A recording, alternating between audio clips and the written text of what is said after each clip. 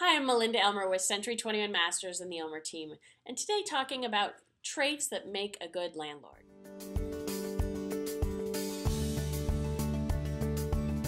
Hi, I'm Melinda Elmer with Century 21 Masters. Thank you so much for watching my video blog today. Today I'm talking about some of the traits that make a good landlord. Oftentimes I get people who call me and say, I'm thinking about renting out this property and what is it that I need to do to make sure that this is a good experience? Or is it even really the right decision for you to be a landlord? So I thought I'd put together some traits that make a good landlord.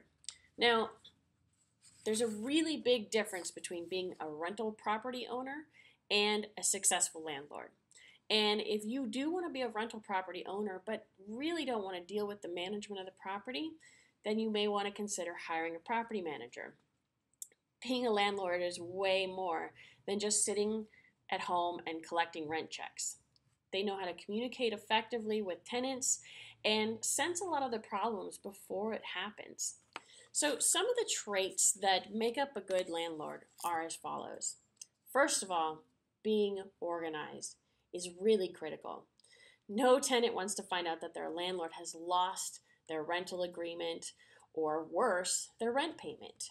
So, a good landlord is well organized with documents on hand, being able to access them as necessary and reference them. This is really key to a hassle free relationship. Also, timely maintenance on a property. Obviously, repairs come up from time to time, whether it's a leaky faucet, toilets, um, you know, the proverbial midnight phone call about a, a plumbing leak. So, getting repairs done quickly and doing preventative maintenance is really critical for being a good landlord. One of the tenants' biggest complaints today is that a lot of them will pinpoint maintenance issues. So, really being able to stay on top of those maintenance issues. If you're so busy keeping uh, hours, working 10, 12 hours a day, five, six days a week, it may not behoove you to be actively managing the property yourself. One of the next traits is being respectful. Obviously, no tenant likes it when their landlord is condescending, rude, judgmental. Good landlords are going to cultivate an atmosphere of respect by acting with complete professionalism, keeping their distance, and being kind and honest. Now, number four is being trustworthy are you honest in your dealings with tenants? If not, it's going to show. The tenants are not stupid and they'll be able to tell you if you cut tell if you cut corners. They'll also they have to be able to trust what you say. And likewise, you have to show that you trust them. You can't constantly be checking up on if they're going to be paying their rent on time or, or making sure that they've done the things that they're supposed to do. So trust them it's not naive to think that at some point somebody may take advantage of you, but you do have to show them trust. The next one is being reliable.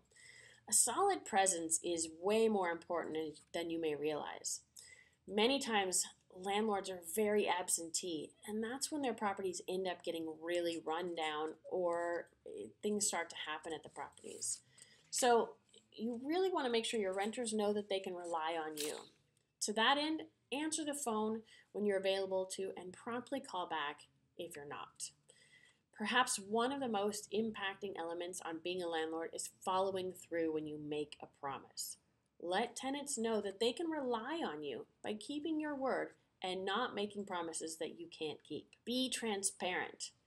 Nothing should be hidden from your tenants.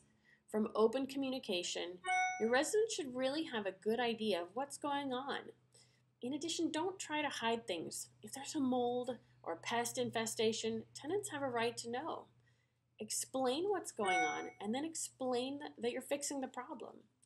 No one likes to hear that their place has a problem, but they'll respect your honesty and integrity by resolving the problem quickly. Now, here's an important one keep an appropriate distance. Your new tenant is not your new best friend. You want to keep a respectful and appropriate distance from your tenants' lives. You might even share the same space in a duplex or triplex situation, but it doesn't mean that you need to nose into their business or micromanage their actions. No one likes a landlord peeking over their shoulders at all times.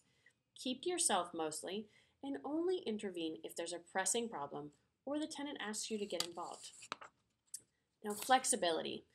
It's important to be sticking to the contract and holding tenants responsible for the rules, but it doesn't mean that you can't be a little bit flexible and understanding when circumstances get hard.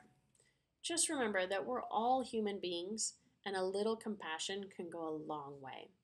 If you have a renter with a good payment history who suddenly misses a payment because of a family emergency or a lost job, cut them a little slack until they get back on their feet. And most importantly, communication.